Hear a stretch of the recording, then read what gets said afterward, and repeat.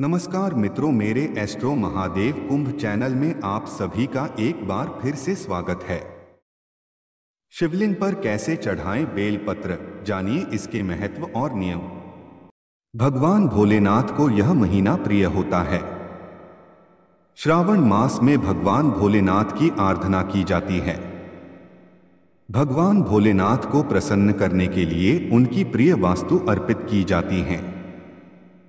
इसीलिए पूजा में हम भगवान भोलेनाथ को बेलपत्र भी अर्पित करते हैं। भगवान शिव की पूजा अर्चना में यदि बेलपत्र नहीं चढ़ाया तो वह अधूरी मानी जाती है।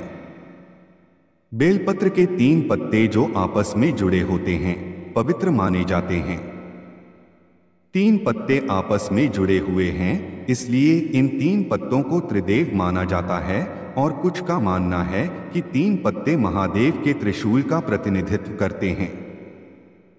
मान्यता है कि बेलपत्र के तीन जुड़े हुए पत्तों को शिवलिंग पर चढ़ाने से भगवान शिव को शांति मिलती है और भगवान शिव प्रसन्न होते हैं। यदि भगवान शिव को प्रेम से केवल बेलपत्र के पत्ते चढ़ाए जाते हैं, भगवान शिव प्रसन्न होते हैं। आइए जानते हैं, भगवान भोलेनाथ को बेलपत्र चढ़ाने के नियम और लाभ।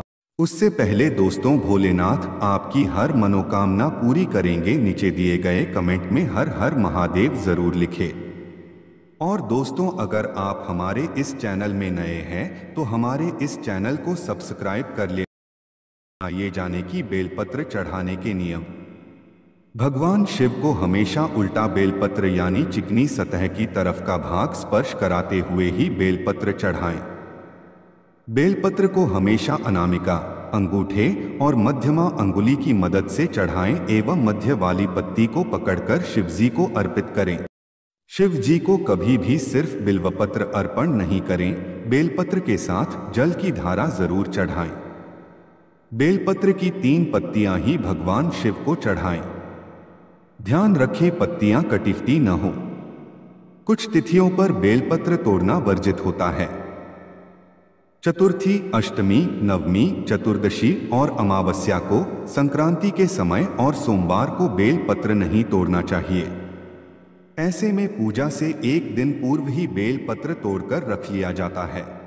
भगवान शिव की पूजा में बेलपत्र का महत्व अपने त्रिकोणीय आकार के साथ बेलपत्र भगवान शिव की तीन आँखों का प्रतिनिधित्व करते हैं। इसके अलावा यह भगवान के अस्त्र त्रिशूल का प्रतिनिधित्व करता है। बेलपत्र ठंडक प्रदान करते हैं। यह भी माना जाता है कि सावन पर बेलपत्र से पूजा करने वाले भक्तों को आध्यात्मिक शक्ति प्राप्त होती है। बेल वृक्ष के नीचे शिवलिंग की पूजा करने से मोक्ष की प्राप्ति होती है। भगवान शिव को बेलपत्र चढ़ाने से भगवान शिव बहुत प्रसन्न होते हैं। बिल वृक्ष के नीचे दीपक जलाने से ज्ञान की प्राप्ति होती है। बिल वृक्ष के नीचे गरीबों को भोजन कराने से आर्थिक स्थिति मज़बूत होती है। दोस्तों, बहुत कम लोग ही जानते होंगे बेलपत्र कभी अशुद्ध नहीं होता। पहले से चढ़ाया हुआ बेलपत्र भी फिर से धोकर चढ़ाया जा सकता है। शास्त्रों के अनुसार आप रविवार के दिन अगर बेलपत्र की पूजा करते हैं तो आपके सारे पाप धुल जाते हैं। अगर आप पुण्य कमाना चाहती हैं तो आपको बेल के पत्तियों में नम शिवाय या राम राम लिखकर उसे भगवान भोलेनाथ पर अर्पित करना चाहिए। शाम होने के बाद बेल पत्र क्या किसी भी वृक्ष को हाथ नहीं लगाना चाहिए। टहनी से एक एक कर बेल पत्र ही तोड़ना चाहिए। पूरी टहनी को नुकसान नहीं पहुंचाना चाहिए। बेल पत्र में वज्र और चक्र नहीं होना चाहिए। बेल पत्र तीन से ग्यारह पत्ती वाले होते हैं।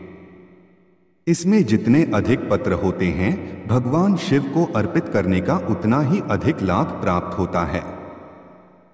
यदि बेलपत्र ना मिल पाए को बेल के वृक्ष के दर्शन करना ही पाप ताप को नष्ट कर देता है।